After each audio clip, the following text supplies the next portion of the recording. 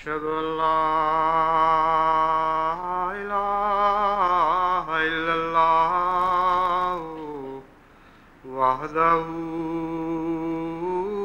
لا شريك له. وأشهد أن محمدا عبده ورسوله. أما بعد فأعوذ بالله من الشيطان الرجيم. بسم الله الرحمن الرحيم. الحمد لله رب العالمين. الرحمن الرحيم. مالك يوم الدين. إياك نعبد وإياك نستعين. اهدنا الصراط المستقيم. صراط الذين أنعمت عليهم. غير المغضوب عليهم ولا الضالين.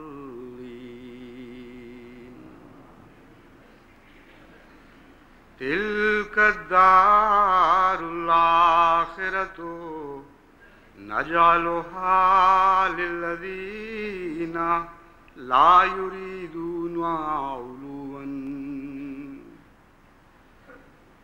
لا يريدون علوا في الأرض ولا فسادا.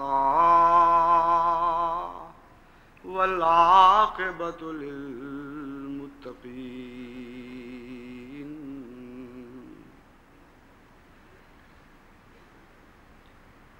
بعض مسلسل ظاہر ہونے والی علامتوں سے یہ معلوم ہوتا ہے کہ اس ملک میں بعض لوگ فتنہ و فساد پھیلانے پر تلے ہوئے ہیں اور گویا ادھار کھائے بیٹھے ہیں۔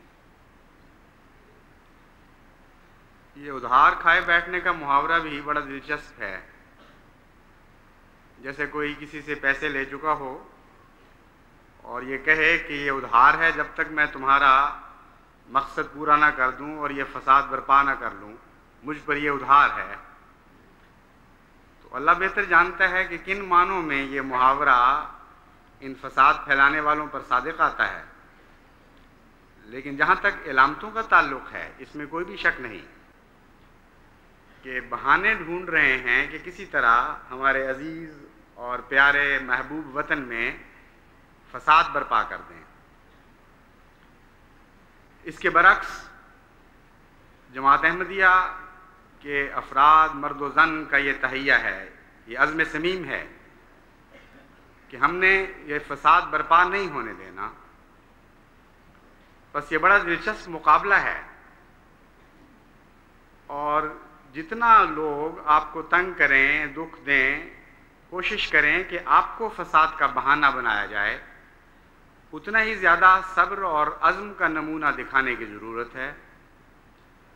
اور بیدار مغزی کے ساتھ، بڑی ذہانت کے ساتھ اس بات کو سمجھتے ہوئے کہ ملکی حالات اس بات کا تقاضا کرتے ہیں کہ اس موقع پر تاریخ کے سنگم میں جس میں اس وقت ہم کھڑے ہیں، کسی قیمت پر بھی فساد نہ ہونے دیا جائے۔ یہ عجیب تاریخ ہے، ہمارے ملک کی اور بڑی بدقسمتی ہے۔ کہ جب بھی بیرونی خطرات نمایاں ہوتے ہیں، بعض مخصوص طبقات لازماً ملک کے اندر فساد کی کوشش کرتے ہیں۔ وہ معلوم ہیں، وہ معروف ہیں اور ان کی تاریخ انمٹ حقائق کے ساتھ لکھی گئی ہے اس قوم کی تاریخ میں۔ اور سب پہچاننے والے ان کو پہچانتے ہیں، لیکن عجیب بدقسمتی ہے کہ سب دھوکہ کھانے والے پھر بھی دھوکہ کھا جاتے ہیں۔ جب بھی اس ملک میں اندرونی فساد بپا ہوئے ہیں، لازماً ہمیشہ کوئی بیرونی خطرہ سر پہ منڈلا رہا تھا۔ اور اندرونی فسادات نے ان خطرات کو تقویت دی۔ اس لیے ہر محب وطن کا فرض ہے کہ وہ کسی قیمت پر بھی اس ملک میں فساد نہ ہونے دے۔ جب ہم یہ کہتے ہیں کہ محب وطن کا فرض ہے تو صرف پاکستان کے احمدی میرے مرا، میرے مخاطب نہیں ہیں۔ تمام دنیا کے احمدی اپنے اپنے ملک، اپنے اپنے وطن کے محب وطن ہیں۔ اور ہمارا یہ ایمان ہے اور یہ ہماری تعلیم ہے کہ آج دنیا کی تمام قوموں میں سب سے زیادہ سچائی اور وفا کے ساتھ اگر کوئی اپنے وطن سے محبت کرتا ہے جس کے ایمان میں جزو ایمان بن گئی ہے وطن کی محبت، وہ جماعت احمدیہ کے افراد ہیں۔ بس اس پہلو سے اگر ہم زیادہ وسیع نظر سے دیکھیں تو ساری دنیا ہی اس وقت فسادات کا شکار ہے۔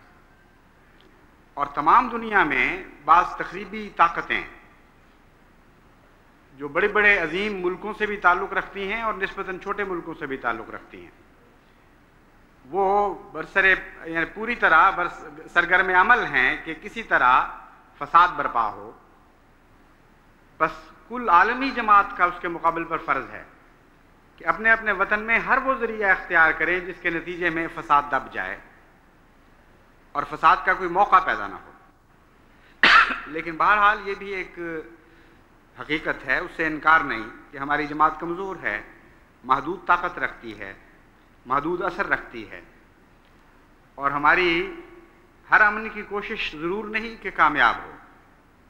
یہ تو ہو سکتا ہے کہ احمدی صبر کا انتہا سے زیادہ نمونہ دکھائیں، لیکن اس بات کی ضمانت پھر بھی نہیں کہ دنیا میں فساد برپا نہ ہو۔ کیونکہ جو لوگ فساد پر تل جاتے ہیں، وہ عجیب و غریب بہانے ڈھونڈتے ہیں۔ کوئی معقول بہانہ نہ ملے تو نامعقول بہانہ تلاش کر لیتے ہیں۔ وہ بھیڑ کے بچے اور بھیڑیے والا، پانی پینے والا قصہ بھی آپ نے سنا ہوا ہے۔ اور یہ قصہ بھی سنا ہوا ہے کہ ایک دفعہ ایک مرد جو ہر وقت لڑائی پر تلا رہتا تھا، اپنی بیوی کے ہر کام میں کوئی نہ کوئی نقص نکال ہی لیتا تھا۔ کبھی روٹی جل گئی، کبھی کچی رہ گئی روٹی، کبھی نمک زیادہ پڑ گیا، کبھی مرچ زیادہ ہو گئی، اور کبھی دونوں کی کمی واقعہ ہو گئی۔ کبھی پانی گرم، کبھی چائے ٹھنڈی۔ اس بیچاری کو تو مصیبت پڑی ہوئی تھی۔ ہر روز ہر بہان، کسی نہ کسی بہانے وہ فساد پر تلا رہتا تھا اور اس کی اس کو زدو خوب کرتا تھا۔ تو ایک دفعہ اس بیوی نے خوب تیاری کی۔ ہر چیز کی بہت ہی زیادہ احتیاط کی۔ نہ نمک زیادہ، نہ مرچ زیادہ، نہ کم۔ پانی بھی مناسب، چائے بھی مناسب، ہر چیز درست کر دی اور روٹی بھی بڑی احتیاط سے پکائی۔ تو اپنے خامد کے چہرے کے آثار دیکھنے لگی۔ اس نے بہت کوشش کی ذہنی طور پہ کہ کوئی بہانہ ڈھونڈوں، لیکن بہانہ ہاتھ نہیں آیا۔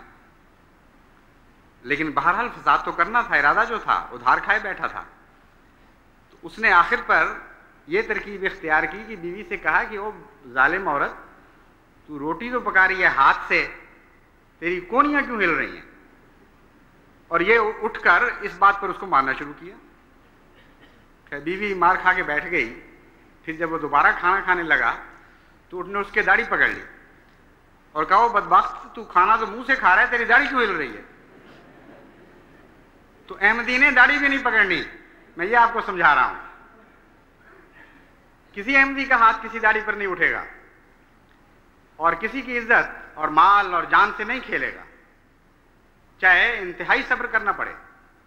ہاں اللہ کی تقدیر آزاد ہے، وہ مالک ہے۔ اس کا ہاتھ اگر کسی داڑھی پر پڑ جائے تو کوئی بال باقی نہیں رہنے دیتی۔ اس لیے وہ مالک ہے، اس کی مرضی ہے۔ جس کی داڑھی کو ذلیل کرنے کے لیے چنے، اس کی مرضی ہے۔ اس میں ہمارا کوئی دخل نہیں۔ لیکن وہاں بھی ہماری دعائیں اپنے دشمنوں کے حق میں ہونی چاہیے۔ نہ صرف صبر کرنا ہے، بلکہ ان کے حق میں دعائیں کرنی ہیں۔ کیونکہ جس پر خدا کا غضب نازل ہو، اس کو مل یا میٹ کر دیتا ہے، تباہ کر کے رکھ دیتا ہے۔ ایسی قوموں کو ماضی کا نشان قصہ بنا دیا کرتا ہے۔ اس لیے ہم تو رحمت للعالمین کے غلام ہیں اور رحمت للعالمین کے غلام رہیں گے۔ کسی کی تباہی کا حال دیکھ کر وقتی جوش اور وقتی خوشی کے نعرے بھی بے وقوف لوگ لگایا کرتے ہیں۔ حقیقت یہ ہے کہ دکھ کسی کا بھی ہو، دکھ ہی ہے۔ اور خدا کا غضب تو بہت ہی بڑا دکھ ہے۔ دعا یہ کرنی چاہیے کہ ہم اس کو پڑھتا بھی نہ دیکھیں کسی پر۔ اس لیے آ حضرت صلی اللہ علیہ وآلہ وسلم کے سچے غلام کی حیثیت سے ہمیں لازماً دعائیں کرنی چاہیے اور ہماری دعاؤں کے دو رخ ہونے چاہیے، ایک اپنے لیے اور ایک اپنے غیر کے لیے۔ اپنے لیے یہ دعا کہ ہم تیری زمین میں لازماً امن کی، امن قائم رکھنے کی کوشش کریں گے۔ اور ہر ممکن صبر سے کام لیں گے۔ اگر اے ہمارے آقا، صبر کی توفیق اگر تو نہ دے تو نہیں ہو سکتی۔ مل ہی نہیں سکتی کسی کو۔ انسان کی طاقت میں نہیں ہے کہ محض اپنے ارادے پر کچھ حاصل کر لے۔ آپ لوگوں میں سے بعض کو شاید یہ خیال آئے یعنی میرے سب مخاطبین میں سے، جو دنیا میں کہیں بھی ہوں گے۔ کہ عام طور پر تو دنیا کی تقدیر میں ہم اسی طرح جاری دیکھ، دنیا کی اندر یہی تقدیر جاری دیکھ رہے ہیں کہ لوگ جو ارادے کرتے ہیں، جو اسکیمیں بناتے ہیں اور دعا نہیں بھی کرتے، تو ان کی تدبیروں کو کچھ نہ کچھ پھل ضرور لگتے ہیں۔ تو یہ جماعت احمدیہ کو کیوں خاص طور پر ہر دفعہ تدبیر کے ساتھ دعا کی طرف توجہ دلائی جاتی ہے؟ یہ اہم سوال ہے جس پر میں کچھ روشنی اپنے دوسرے مضمون سے ہٹ کر ضرور ڈالنی چاہتا ہوں۔ بات یہ ہے کہ اللہ تعالیٰ کی تقدیر کا اس پہلو سے میں نے بڑا گہری نظر سے مطالعہ کیا ہے اور میں اس قطعی نتیجے پہ پہنچا ہوں کہ وہ لوگ جو خدا کے مومن بندے ہیں، جو خدا کی اپنی جماعت کہلاتے ہیں ان کے ساتھ اللہ تعالیٰ کا اور سلوک ہے اور جو لوگ دنیا دار ہیں، جن کا خدا سے تعلق نہیں، ان کے ساتھ اور سلوک ہے۔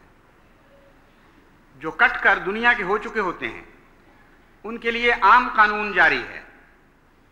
جو وہ کوشش کرتے ہیں، اس کوشش میں اگر حکمت شامل ہو، محنت شامل ہو، تو اس کو عام دنیا کے دستور کے مطابق پھل لگتے رہتے ہیں۔ مگر جن کو خدا اپنا بنا لیتا ہے ان کی بار بار توجہ اپنی طرف مبزول کرنی چاہتا ہے۔ ان کو بتانا چاہتا ہے کہ میں تمہارا ہوں اور میرے بغیر تم کچھ بھی نہیں ہو۔ اس لیے ان کی عام کوششیں بھی ناکام ہو جایا کرتی ہیں اگر وہ دعا نہ کریں۔ ایسی کوششیں جو دنیا دار کی کوششیں ہوں تو پھل دے دیں گی۔ اگر مومن خدا سے غافل ہو جائے اور انحصار کرنے لگے اپنی طاقت پر، تو یہ ایک مستقل گہرا سبق ہے آپ کے لیے۔ کہ اس کو پھر خدا تعالیٰ ان کوششوں کو پھل سے محروم کر دے گا۔ تاریخ اسلام کے مطالعے سے بھی یہی سبق ملتا ہے، تاریخ احمدیت کے مطالعہ سے یہی سبق ملتا ہے۔ اور روزمرہ کی زندگی میں اگر آپ باریک نظر سے مطالعہ کریں اپنے حالات کا، تو آپ ضرور اسی نتیجے پہ پہنچیں گے کہ آپ چونکہ اللہ کے بندے ہیں اور اللہ آپ کے، آپ کا اپنے ساتھ گہرا تعلق دیکھنا چاہتا ہے اس لیے آپ کی عام کوششوں کو اپنے فضل کے ساتھ، اس گہرے رابطے کے ساتھ منسلک کر چکا ہے کہ وہ رابطہ آپ ٹوٹ نہیں سکتا۔ اگر آپ توڑیں گے تو محروم رہیں گے کسی نہ کسی برکت سے۔ بسا اوقات میں نے دیکھا ہے کہ بعض کوششیں بہت اچھی کی جاتی ہیں، بڑی محنت سے کی جاتی ہیں۔ اگر غفلت سے دعا کے توجہ ذرا ہٹ جائے یا کم ہو جائے، تو الٹ نتیجے ظاہر ہونے شروع ہو جاتے ہیں۔ اور جو ہی دعا کی طرف توجہ مبزول ہوتی ہے، وہ ساری باتیں ٹھیک بیٹھنے لگ جاتی ہیں۔ تو اس لیے جماعت احمدیہ کے لیے بہرحال ضروری ہے کہ دعا سے غافل نہ ہو۔ آپ کو لازماً اللہ تعالیٰ کے فضل سے کامیابی نصیب ہوگی، کیونکہ خدا کا یہ وعدہ ہے۔ خدا تعالیٰ نے جو آیات میں نے تلاوت کی ہیں، ان میں قطعی وعدہ کیا ہے کہ آخرت جو ہے اور عاقبت، یہ متقین کے لیے ہے۔ اور انہی لوگوں کو نصیب ہوگی تل دار الآخرت و نجل حال الزینہ لا یریدون علوبن فی الارض ولا فسادہ ان لوگوں کو نصیب ہوگی جو ذاتی بڑائی کی خاطر دنیا میں حکومتوں پر ہاتھ ڈالنے کی کوشش نہیں کرتے۔ جو اس بات سے بے نیاز ہیں کہ ان کی حیثیت کیا ہے، ان کا توکل اپنے رب پر ہوتا ہے۔ والعاقبت للمتقین یہ ایک جاری قانون ہے۔ اللہ تعالیٰ فرماتا ہے کہ انجام کار بہرحال متقین کی فتح ہوتی ہے جو اللہ سے ڈرنے والے ہیں۔ تو اس پہلو سے ہمیں تو کسی حکومت میں کوئی دلچسپی نہیں ہے۔ دنیا کے پردے پر کسی حکومت میں کوئی دلچسپی نہیں۔ صرف ایک دلچسپی ہے کہ اللہ کی حکومت قائم ہو۔ ہمارا تاج رضوان یار کا تاج ہے۔ ہماری بادشاہت الہی بادشاہت ہے۔ اور اس معاملے میں ہمارا رقیبی اور کوئی نہیں۔ تنہا ہم میدان میں ہیں۔ اور کسی کی خواہش ہی نہیں، آپ دنیا میں جتنے مذہب کے نام پر کوششیں کرنے والے ہیں، ان کا مطالعہ کر کے دیکھ لیں، دراصل وہ علوف چاہتے ہیں۔ ذاتی بڑائی چاہتے ہیں۔ کوئی نہ کوئی اور دنیاوی مقصد رکھ کر مذہب کے نام پر فساد برپا کرتے ہیں۔ ان کے متعلق اللہ تعالیٰ نے اسی آیت میں تجزیہ بھی فرما دیا کہ اگر علوف چاہو گے تو اس کے نتیجے میں بنی نو انسان کی بھلائی ظاہر نہیں ہوگی۔ خواہ وہ دنیاوی مقصد ہو یا کوئی اور مقصد، اس کا کوئی بھی نام رکھ لیا جا جائے۔ اگر نیتوں میں یہ خواہش موجود ہے کہ ہم غلبہ پا جائیں دوسروں کے اوپر۔ دوسروں کے کہ امور کی باغ ڈور ہمارے ہاتھ میں آ جائے۔ تو اللہ تعالیٰ فرماتا ہے کہ یہ نیت اس بات کی ضامن ہو جائے گی کہ تم فسادی ہو۔ کیونکہ علوف کی خاطر کوشش کرنے والے بنی نو انسان کی بھلائی نہیں کیا کرتے، ہمیشہ فساد برپا کیا کرتے۔ ہیں تو اس پہلو سے جماعت احمدیہ مستثنا ہے کلیتاً، کیونکہ جماعت احمدیہ علوف کی خواہش ہی کوئی نہیں رکھتی، وہ صرف اللہ کی رضا کی خواہش رکھتی ہے۔ وہ خدا کی حکومت کے قیام کے لیے کوشاں ہے۔ وہ یہ چاہتی ہے کہ کسی طرح رضوان یار حاصل ہو جائے۔ بس ان باتوں پر، ان صفات پر اگر آپ قائم رہیں گے اور پورے صبر اور وفا کے ساتھ قائم رہیں گے تو اللہ تعالیٰ کی یہ خوشخبری ہے ولاقبۃ المطقین لازماً انجام کار آپ فتح یاب ہوں گے۔ اللہ تعالیٰ ہمیں یہ فتح عطا فرمائے۔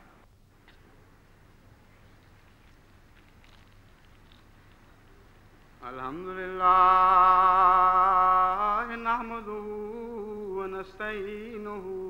ونستغفره ونؤمن به ونتوكل عليه ونعوذ بالله من شرور أنفسنا ومن سيئات أعمالنا.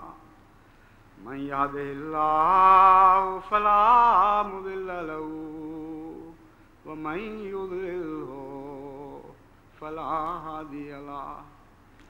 ونشهد أن لا إله إلا الله وحده لا شريك له. ونشهد أن محمدا عبده ورسوله. کل عصر کی نماز کے بعد واپس آتے ہوئے خواجہ عبد المومن صاحب نے توجہ دلائی کہ اب پھر گرمی بہت بڑھ گئی ہے، برداشت سے باہر ہوتی جا رہی ہے، تو دوبارہ دعا کی طرف توجہ کرنی چاہیے اور احباب جماعت کو تلقین کرنی چاہیے۔ چنانچہ میں نے ان سے کہا کہ انشاءاللہ کل خطبے میں تلقین کروں گا۔ لیکن صبح جب بادل دیکھے تو میں متردد ہو گیا۔ مجھے خیال آیا کہ اب اگر تلقین کی تو بعض کمزور ایمان والوں کے لیے ٹھوکر کا مجب نہ ہو۔ وہ اپنی بے وقوفی نادانی سے یہ نہ سمجھنے لگیں کہ جماعت احمدیہ اسی قسم کی دعائیں کرتی ہے۔ بادل دیکھ لیے تو تلقین کر دی اور بعد میں کہہ دیا دعا قبول ہو گئی۔ یہ غور کرتے ہوئے خیال آیا کہ تلقین نہ کروں۔ پھر خدا نے توجہ اس طرف پھیری کہ یہ بات بھی کامل عجز کے خلاف ہے۔ بات یہ ہے کہ ہزار بادل آئے ہوئے بھی بغیر برسے چلے جایا کرتے ہیں۔ ہزار علامتیں رہ خدا کی رحمت کی ظاہر ہو بھی جائیں تو اللہ کے فضل کے بغیر وہ عمل میں نہیں ڈھلتی۔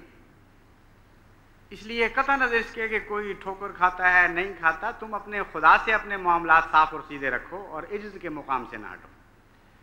چنانچہ میں نے ارادہ کیا کہ لازماً تحریک کروں گا۔ اور اس کے ساتھ ہی مجھے اپنا ایک پرانا واقعہ بھی یاد آ گیا، شاید پہلے بھی بتا چکا ہوں، لیکن ہے دلچسپ۔ ایک دفعہ ہم ڈلہوزی گئے، اس نیت سے کہ برف دیکھیں گے۔ چھ سات بچے تھے، حضرت مسلم مود نے ہمارے ساتھ ایک مربی بھیج دیے، منتظم۔ اور ہمیں برف دیکھنے کے لیے بھجوا دیا۔ جب ہم جا رہے تھے تو رستے میں ایک پرانے پہاڑی آدمی نے جو ہمارے ساتھ ہی بس میں بیٹھا ہوا تھا، اس نے باتوں کے دوران کہا کہ آج کل موسم ایسا ہے کہ برف ضرور پڑتی ہے۔ بادل آ جائیں صحیح، برف ضرور پڑ جائے گی، لیکن اگر بادل نہ ہوں گے تو پھر کچھ نہیں ہو سکتا۔ تو اپنی نادانی میں، اور میں سمجھتا ہوں کہ اس نادانی نے ایک بڑا گہرا سبق عطا کر دیا، اس لیے بری نادانی نہیں تھی۔ اپنی نادانی میں ہم نے یہ دعا کی کہ اے اللہ میاں، بادل تو بھیج دے، برف ہم آپ ہی بنا لیں گے۔ اور سات دن وہاں ٹھہرے ہیں۔ سورج کا منہ نہیں دیکھا۔ مسلسل بادل رہے، اولے برسے ہیں، برف کا ایک فلیک نہیں گرا۔ اللہ تعالیٰ یہ بتانا چاہتا تھا کہ یہ بادل، یہ علامتیں، یہ کیا چیزیں ہیں؟ میرے غلام در ہیں، میرے تابع فرمان ہیں۔ میں حکم دوں گا تو کچھ کریں گے، اس کے بغیر کچھ نہیں کر سکتے۔ تو اس وقت سے ایک مستقل سبق مجھے میسر آ گیا کہ اصل بندے کا مقام یہ ہے کہ وہ دعا کرے اور ظاہری علامتوں پر انحصار نہ کرے۔ بس اب پھر ہمیں دعا کرنی چاہیے کہ اللہ رحم اور فضل کی بارش برسائے، موسم کو غربا، خصوصاً غربا کے لیے تبدیل کر دے۔ عمرا کو تو پھر بھی کچھ نہ کچھ سہولتیں حاصل ہوتی ہیں۔ یہاں ربا میں جو میں نے جائزہ لیا ہے، غربا کے مکان کی ایسی نگفتہ بے حالت ہے کہ بہت ہی خطرناک حالات میں وہ زندگی بسر کر رہے ہیں۔ تو ان کا نام لے کر اگر دعا کریں تو شاید امیروں کو بھی فائدہ پہنچ جائے، ساتھ ہی وہ تو پہنچنا ہی ہے۔ تو اللہ تعالیٰ فضل فرمائے۔ عباد اللہ، رحمکم اللہ، ان اللہ یامر بالعدل واللسان ویتاء ذی القربى وينهى عن الفحشاء والمنكر والبغي يعظكم لعلكم تذكرون. اذكروا الله يذكركم ودوه يستجيب لكم. ولذكر الله أكبر.